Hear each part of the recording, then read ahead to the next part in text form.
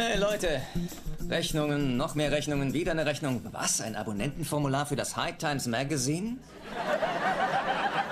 Du bist erst seit zwei Tagen hier. Wie haben die dich gefunden? Das ist so eine kosmische Sache. Ach, übrigens, ich habe Dad in eine meiner Malertruppen gesteckt. Hey, das ist gut. Ja, aber ich mache das nur so lange, bis ich genug Geld für meine Autoreparatur habe. Oh, was muss denn am Van gemacht werden?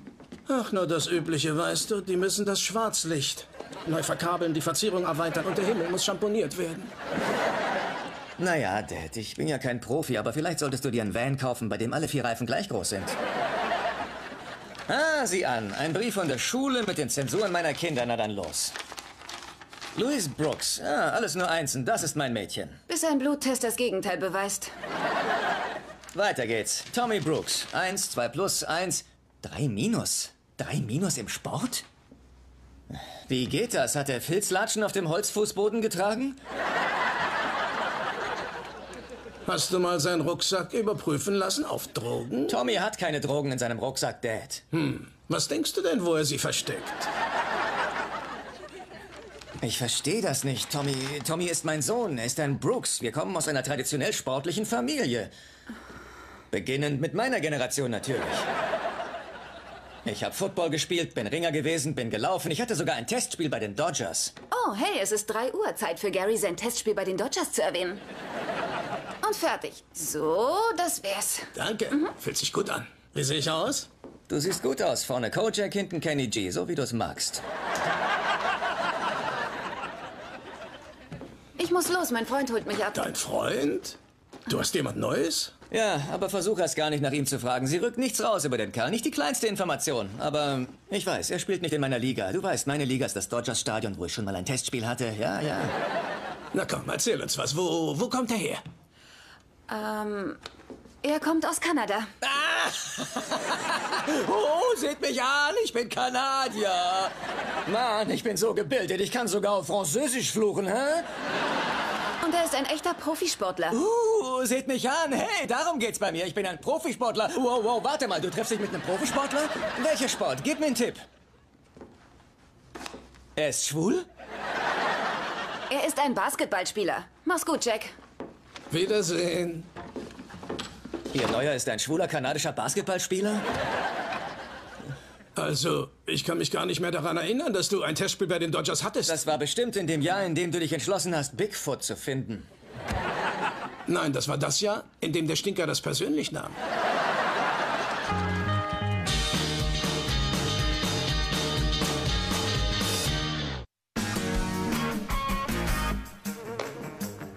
Luis, weißt du, wo die Fliegenklatsche ist?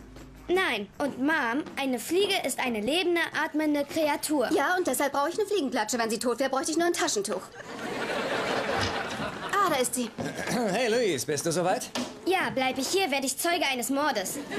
Süße, hast du dir schon mal überlegt, wie viele Fliegen an meiner Windschutzscheibe sterben, wenn wir zum Recycling Center fahren? Das ist ein klassisches destruktives Dilemma, Dad. Sollen wir das so handhaben? Ich sag was Cleveres und du sagst was, das ich nicht verstehe? Warte im Auto, Schlaumeier. Wo ist Tom? Äh, der ist bei Walter. Wird jede Minute... Oh, die macht mich verrückt. Ich krieg sie einfach nicht. Wieso tust du nicht das Übliche? Hör auf, sie wahrzunehmen, lass sie dich nicht mehr berühren, dadurch zerschmetterst du ihre kleine Seele, bis sie den Willen zu leben verliert. Hey, also, hast du Tommys Noten gesehen? Oh ja, hab ich. Ich bin so stolz auf ihn. Er ist in den naturwissenschaftlichen Fächern so gut. Und danke, dass du in diesem Schuljahr nicht versucht hast, ihm Na zu helfen. toll. Er ist überall gut, außer im Sportunterricht. Ich meine, wie bekommt man eine 3 minus im Sport? Wir hatten einen Schüler auf der Highschool, der hat im Sportunterricht geraucht. Der hatte eine 2 plus. Ich weiß, das ist nicht akzeptabel, aber von all seinen Fächern mache ich mir eigentlich um Sport die wenigsten Sorgen. Warte, Wow, wow, okay. Ganz ruhig. Oh, hi, wie war eure Wanderung? Fabelhaft. Ja? Wartet, ihr wart wandern? Ja, ich habe Tommy die urbane Natur der Nachbarschaft gezeigt. Uh, das muss faszinierend sein. Ich wette, wenn man früh aufsteht und ganz leise ist, kann man sich an den scheuen Mann heranschleichen, der die Pizzacoupons in unseren Briefkasten wirft. Eigentlich fand ich es cool. Dr. K weiß alles Mögliche. Es gibt in unserer Nachbarschaft Stellen, wo man essbare Pflanzen und Tiere finden kann. Ja, man nennt sie Restaurants und Salatbars. Hab ich recht? Ja, ich glaube Stimmt's? schon. Aber du kannst auch Nährstoffe aus Tannennadeln und Eicheln gewinnen. Aber der Witz mit der Salatbar war gut. Salatbar. Hör auf, nicht aus Mitleid lachen. Geh ins Auto. Danke, Dr. K. Es hat mir auch Spaß gemacht. Ich muss jetzt gehen. Ich bekomme heute ein neues Telefon. Oh, das muss spannend sein. Vielleicht können Sie Ihre alte Nummer behalten. Neun. Ah, eine neue Spitze über mein Alter. Sagen Sie mal, Gary, als Sie sich damals auf dem College einschreiben wollten, haben Sie auch versucht, das mit dem Pinsel zu bewerkstelligen? Jetzt weiß ich, warum Tommy eine 3 Minus im Sport hat. Das war wegen Crandall. Wovon sprichst du? Denk doch mal nach. Wenn er zu mir kommt, sind wir zwei Kerle, die abhängen, klar? Aber wenn er zu dir kommt, sind da drei Frauen. Louise, du und Crandall. Willst du damit andeuten, Walter ist ein unzureichendes männliches Vorbild? Nein, ich will damit andeuten, dass Walter unzureichend männlich ist. Tja, er ist immerhin männlich genug, um ein breites Lächeln auf mein Gesicht zu zaubern. Das ist widerlich. Und beim Sex hat er nicht einmal gesagt, hast du was dagegen, wenn du allein weitermachst? Ich hol mir mal ein Bier. Um fair zu sein, als ich wiederkam, hattest du auch schon kein Interesse mehr an dir selbst. Ich habe ein Karpaltunnelsyndrom.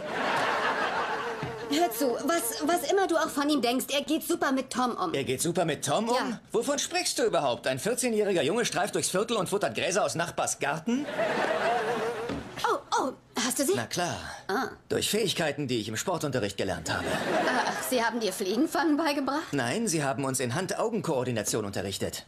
Gut, also was ich mache, wenn ich Tom habe, ist, ich werde ein bisschen Männlichkeit in sein Leben bringen und ein bisschen Crandlichkeit entfernen. Okay. Gib mir die Fliegenklatsche. Ja. Gut. Und nun? Na los, hau ab, Kumpel. Was tust du da? Ah, das hat Spaß gemacht. Wie geht's dir? Ich bin fertig. Drei Stunden Rennen, Springen und Frisbees fangen. Versteh mich nicht falsch, aber vielleicht brauchst du einen Welpen. Du hast heute eine wertvolle Lektion gelernt, mein Sohn. Man kann in den Park gehen, Football spielen, Baseball spielen, Basketball spielen. Aber sobald ein Mann und sein Sohn auf dem Rasen ringen, rufen andere Menschen die Polizei. Ich glaube, wir waren einfach nur im falschen Teil des Parks. Ich habe morgen für uns was Männliches geplant. Was? Männlicher als seinen Kopf in einer Beinzange eingequetscht zu kriegen? Ich hab dir doch gesagt, wenn das passiert, ruf einfach um Hilfe, wenn dich das stört. Ich konnte dich ja nicht hören. Deine Schenkel waren auf mein Ohr gepresst. Hör zu, morgen Paintball. Komm schon, das müssen wir beide machen. Das wird super. Du, ich, Grandpa, Jack und Dennis. Und wenn du willst, kannst du noch einen Freund mitnehmen, Großer. Ich weiß nicht. Können wir nicht einfach wandern gehen? Die, die Wildblumen blühen. Naja, ich muss mit dir über deine Zensuren reden. Ich meine, die sind richtig gut, aber eine 3 Minus im Sport, ich finde das nicht cool. Ich meine, wir sind Brooks-Männer. Wir haben einen Ruf Ja, ich weiß. Ich, äh, ich vergesse mir dauernd meinen Turmbeutel. Ist ja nicht schlimm. Stimmt. Du weißt ja, dass du mit mir über alles reden kannst, wenn du willst. Ja, aber natürlich. Gut, willst du über was reden? Nein. Sicher? Ich meine, ich kann dir wirklich helfen. Schule, Mädchen, Sportunterricht. Ich bin Experte für alles, mit der Ausnahme von Schule und Mädchen. Es, es gibt nichts, worüber ich reden muss. Okay, ich gehe jetzt unter die Dusche. Gut, hab dich lieb. Weißt du, damals in der Schule war der Sportunterricht mein Lieblingsfach. Das hat einfach Spaß gemacht. Das war eine Unterbrechung vom Schulalltag. Da konnte man sich auspowern, du konntest rennen, Blödsinn machen, die anderen ärgern. Das Beste war dämlich quatschen im Umkleideraum nach dem Unterricht. Das hat immer Spaß gemacht, weißt du? Hey, Tommy, aufgepasst! Oh nein! Oh, Tommy, ist alles in Ordnung? Nein, nichts ist in Ordnung. Wofür zur Hölle war das denn? Ja, ich habe Hölle gesagt. Oh, mein Sohn, es tut mir so leid, das wollte ich nicht. Wolltest was nicht ein Handtuch zusammenrollen, warten, bis meine Hose unten ist und mir dann ins Gehänge peitschen? Tommy, ich sagte aufpassen. Und dann habe ich mich umgedreht. Aber aufgepasst heißt doch nicht umdrehen. Aufgepasst heißt sich ducken. Das weiß doch jeder. Ja, das möchte ich bezweifeln. Oh, Kleiner. Hey, Allison. Paintball beginnt in einer Stunde. Wo ist Private Tom? Private Tom kühlt sein Privateigentum. Gary, hast du ihn wirklich mit dem Handtuch geschlagen? Was willst du als nächstes machen? Seifenstücke in einen Kopfkissenbezug packen und ihn in seinem Bett verprügeln? Ist gut, ich fühle mich schon schlecht genug, deshalb glaub mir, muss nicht noch drauf rumhaken. Es war nur ein kleines Umkleidekabinenspiel. Ich habe nur aufgepasst gesagt, das ist alles. Ach, das heißt dann, es war seine Schuld. Seine kleinen Dinger sind in die Flugbahn deines Handtuchs gehopst. Naja, irgendwie schon. Man weiß doch, dass aufgepasst wegdrehen heißt. Und nicht hindrehen. Aufgepasst bedeutet, dass ein Puck, ein Ball oder vielleicht ein Handtuch zu dir unterwegs ist. Okay, ich habe gehofft, dass wir beide einen Gentleman großziehen und keinen Pluto aus Animal House. Bludo. Wie auch immer. Na bitte, und Na. genau das ist wichtig. Das ist das, was er bei dir nicht lernt oder, oder auf seinen Spaziergängen mit Crocodile Crandall. Ja.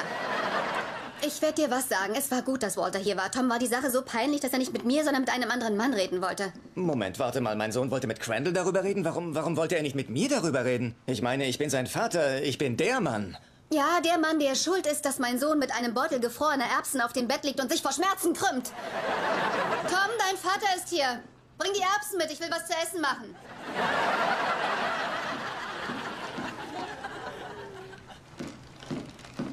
Hi. Hi. Wie geht's deinen Kameraden? Verletzt und verärgert und nicht mehr so vertrauensselig wie früher. Bitte entschuldige, es tut mir so leid, mein Sohn, aber, aber sei ein Mann und spiel trotz Verletzung mit. Hast du einen Freund, der mitspielen will? Hallo, Gary. Was, was soll denn das, Crandall? Tom hat mich eingeladen, mitzumachen. Nein, nein, Tommy, ich, ich habe gesagt, du sollst einen Freund mitbringen, oder? Dr. K ist mein Freund. Nein, ich, ich dachte eher an einen Schulfreund wie Brian und Glenn und nicht an einen, einen Freund, der unter der Dusche einen Stuhl braucht.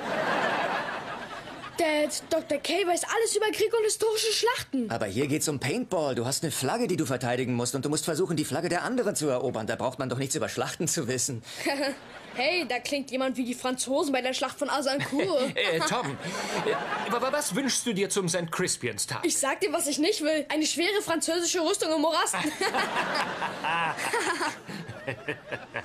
Geht ins Auto. Alles klar, kommt schon, gehen wir. Bringt ihn her. Los, schleift ihn her, Leute. Kommt schon, Beeilung, Beeilung. Wir haben ein paar Minuten, bis Sie nachgeladen haben und dann werden Sie auf uns einstürmen, mit allem, was geht. Okay, wir haben Buko-böse Jungs da drüben an der Baumgrenze. Vielleicht hörst du bitte auf, so zu reden. Du machst uns noch alle wahnsinnig. Danny sieht ganz schön übel aus, Dad. Ach komm schon, Dennis, steh auf. Ich hab Schmerzen. Na klar hast du die. Du hast zum Frühstück drei Sandwiches an der Tankstelle gegessen. Wenn irgendwas aus meinem Magen rausbricht, tötet es. Tommy, was ist los mit dir? Du bist unser Point Guard. Du solltest da drüben die Bösen wegballern. Du hast nicht einmal abgedrückt. Ja, ich weiß, ich habe noch kein Gefühl für den Markierer. Na dann beeil dich damit, ein Gefühl zu kriegen. Am besten machst du... Äh, äh, schieß Dennis. Okay. Na toll, das ist wie in den Kriegsfilmen. Die ethnische Minderheit geht immer zuerst drauf.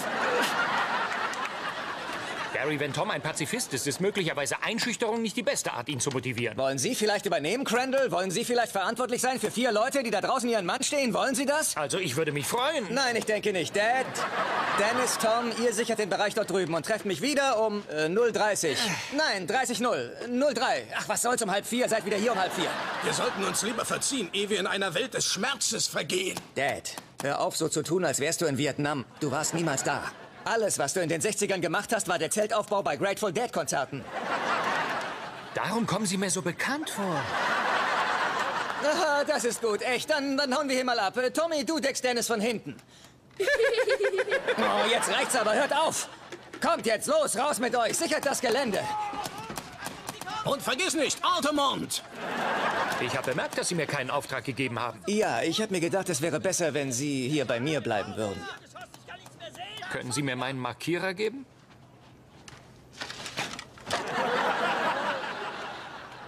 Ich fürchte, das kann ich nicht, Walter. Das werden Sie nicht tun, Gary. Was haben Sie schon davon, wenn Sie auf mich schießen? Sie wären aus dem Spiel und ich hätte mehr Zeit alleine mit meinem Sohn. Ich stehe aber nicht zwischen Ihnen und Ihrem Sohn. Ach ja, und wieso kommt er dann zu Ihnen und fragt um Rat? Es ist normal für Teenager, sich jemand anderen als den Eltern anzuvertrauen. Ich verstehe. Und was erzählt er Ihnen? Ich fürchte, das ist streng vertraulich. Oh, das war die falsche Antwort. Drücken Sie nicht ab, Gary. Wieso nicht? Sagen Sie mir einen Grund, warum ich nicht abdrücken soll. Weil es aus dieser Entfernung einen großen blauen Fleck geben wird und die Leute in meiner Sauna sehr gemein sind. Los runter, Gary, ducken Sie sich! Ach du meine Güte, die kommt von überall. Schnell, die Waffe, sie ist unsere einzige Hoffnung! Nein, ich vertraue Ihnen nicht. Können Sie sich jetzt nicht leisten! Na gut. Ich meine das ernst mit Tom Crandall. Bleiben Sie weg von ihm. Ich bin sein Held. Haben Sie verstanden? Sie verstehen das nicht, oder? Was verstehe ich nicht? Sie sind sein Held. So sehr, dass er Angst davor hat, Sie zu enttäuschen. Wie kommt er darauf? Er könnte mich niemals enttäuschen. Gary, Sie sind ein knallharter athletischer Typ, der in vier Sportarten überzeugt hat, ganz zu schweigen von Ihrem legendären Testspiel bei den Dodgers. Deshalb schwänzt er den Sportunterricht. Es ist weniger schmerzhaft, es nicht zu versuchen, als zu riskieren, Sie zu enttäuschen. Er könnte mich niemals enttäuschen. Haben Sie ihm das mal gesagt? Manche Dinge muss ein Sohn von seinem Vater hören. Oh, da kommen Sie. Alles klar, alles klar. Kommt rein. Sie haben uns von allen Seiten eingekreist. Ich weiß nicht, was wir machen sollen. Alles klar. Hey, wartet. Wo ist mein Dad? Ich habe ihn beim Wachturm gesehen. Er sagt, dass er den Feind ausräuchern will.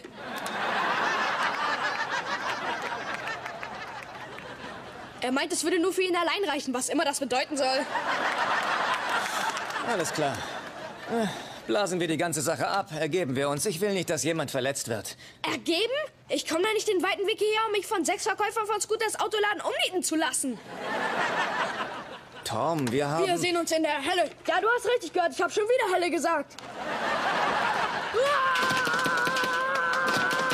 Wer ist dabei? Ah! Was ist denn in den gefahren? Wahrscheinlich eine Mischung aus Gangster-Rap, Videospielen und einer ellenlangen Zuckerstange, die er an der Tankstelle eingeatmet hat. Wahrscheinlich. Gary, aufpassen!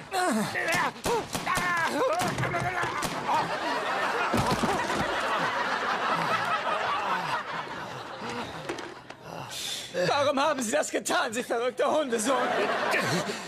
Tom braucht seinen Dad. Die Wahrheit ist, er redet von nichts anderem, wenn wir einen Spaziergang machen. Gemeinsam zu der, zu der, zu der... Oh, Crandall, bleiben Sie bei mir. Sekunde, mir fällt das Wort nicht ein. Der Punkt ist immer, wenn wir zusammen sind, ist alles, wovon er spricht, wie sehr er zu Ihnen aufblickt. Danke, Walter. Danke. Das ist das Ende für mich. Ja. Ich, ich glaube schon, Crandall. Dann sehen wir uns in der Cafeteria. Ja. Bestellen Sie mir bitte einen Cheeseburger, ja? Ja. Doch schon tot, verdammt nochmal! Hier ist ein eiskaltes Rootbier für den siegreichen Krieger. Und eins für Gary. Das ist gut. Ich habe von seinem Mut profitiert. Ich meine, er hat die Flagge erobert, ich war in seinem Team und das gibt mir das Gefühl, als ob ich die Flagge auch erobert hätte. Also wenn ich dieser Logik folge, müsste ich durch meinen Freund drei NBA Championship Ringe besitzen. Warte mal, das ist ein Hinweis. Okay, geboren in Kanada, drei Championship-Ringe. Oh, du triffst dich mit Rick Fox. Da habe ich wohl zu viel verraten. Du triffst dich wirklich mit Rick Fox? Ich treffe mich mit niemandem. Ich wollte Gary nur ein bisschen ärgern. Vanessa und ein Ex-Laker? Das ist cool. Es sei denn, du bist der Kerl, mit dem sie vorher ausgegangen ist. Wer kann da schon mithalten? Aber Dad, du bist fast selbst ein Profisportler. Ich meine, du hattest ein Testspiel gegen die Dodgers. Ich glaube, ich habe da ein paar Details vergessen zu erzählen. Äh, Das Testspiel war eine Einladung von einer Tageszeitung. Die sagten, die ersten 1500 Menschen, die ins Stadion kommen, dürfen mit den Dodgers spielen. Und mein Cousin und ich waren da. Das war's. Mein ganzes Testspiel waren zwei Schläge. Das war dein Dodgers-Abenteuer? Naja, ich hab's im Laufe der Jahre etwas übertrieben. Ich war ein Kerl, der ganz passabel in Highschool-Sportarten war. Das war aber nichts, womit man angeben kann. Darum gebe ich wahrscheinlich immer damit an. Deine, deine Paintball-Geschichte ist viel spannender als meine gesamte Sportkarriere. Meinst du das ehrlich? Ja, hey. Ich lebe jetzt in deinem Schattenkumpel, alles klar? Alles klar, vielen Dank, Dad. Was war mit deinen beiden Schlägen? Weißt du, beim ersten habe ich daneben gehauen, den zweiten, naja, ich habe ihn auf den Leftfielder geschlagen. Wow. Ja, er fing ihn mit der bloßen Hand. Aber hey, immerhin hast du den Ball bis zum Outfield des Stadions geschlagen. Nein, nein, ich sagte nicht, ich habe den Ball ins Leftfield geschlagen, ich habe ihn zum Leftfielder geschlagen. Der kam gerade von der Spielerbank und hatte seinen Helm gerade gerückt. Der hatte seine Hand ausgestreckt und irgendwie plumpste der Ball in seine bloße Hand. Immerhin hast du den Ball bis zur Spielerbank der Dodgers geknallt. Und wie ich das habe. Das war kurz vorm Ende des Kampfes, als ich ein Kaugummi auswickelte. Das ist gar nichts. Hier, da kam ich gerade aus der Toilette. Das ist ihre eigene Farbe, oder? Ja, ich musste raus aus diesem Höllenloch. Ich hasste es, wie es mich verändert hat. Ich habe Menschenverachtendes getan, ohne was zu empfinden. Ich fühle mich komisch. Vielleicht haben Sie Hunger. Haben Sie nach dem Frühstückssandwich-Vorfall schon was gegessen?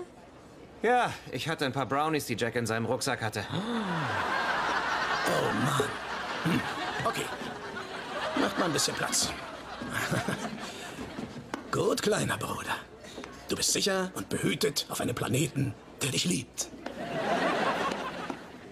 Kumbaya, my lord, Kumbaya. Kumbaya, my lord, Kumbaya. Machen Sie mit. Kumbaya, my lord. Kumbaya. Hey, was, äh. Oh, was, was, was ist hier Oh, los? Dennis hat von meinen Brownies gegessen. Jemand ist high, my lord. Kumbaya.